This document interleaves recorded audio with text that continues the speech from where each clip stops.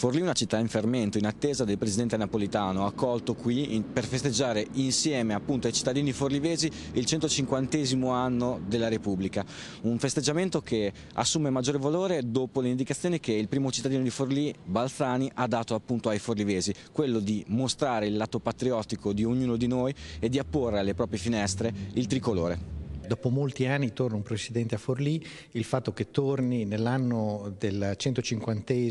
del, dall'Unità d'Italia e in una città dalla tradizione risorgimentale come Forlì è per noi un motivo di grande orgoglio perché significa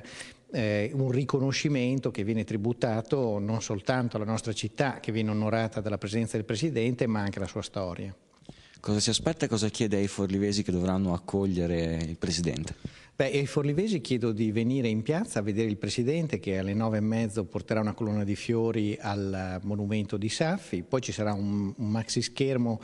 per seguire quello che accade in teatro, cioè un ricordo appunto del 150 con la pres alla presenza del Capo dello Stato. E io chiedo anche ai forlivesi di esporre la bandiera tricolore il giorno 7 che è il giorno del tricolore, per appunto che segnala la nascita del tricolore nel nostro paese e anche il giorno 8 quando ci sarà il Presidente della Repubblica cerchiamo di essere tutti presenti, di far sentire che questa è una città patriottica, dalla forte tradizione nazionale, che quindi si riconosce nella Repubblica e nelle sue istituzioni.